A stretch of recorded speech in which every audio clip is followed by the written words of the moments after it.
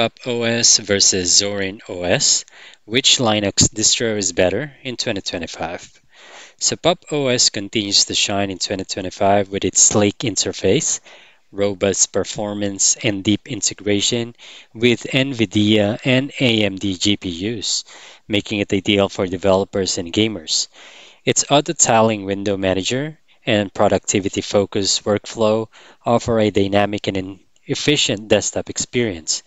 Backed by System 79, it receives regular updates in hardware optimization, making it a top choice for power users and creators. Zorin OS, on the other hand, in 2025, stands out for its window-like interface and beginner-friendly design, making it a perfect entry point for users switching from Windows or Mac OS with a polished UI, built-in capability layers for Windows apps, and strong privacy features. It blends aesthetics and usability. Its light version is especially impressive on older hardware, providing speed without compromising user experience. And that's it. Thank you guys for watching. I'll see you in the next one.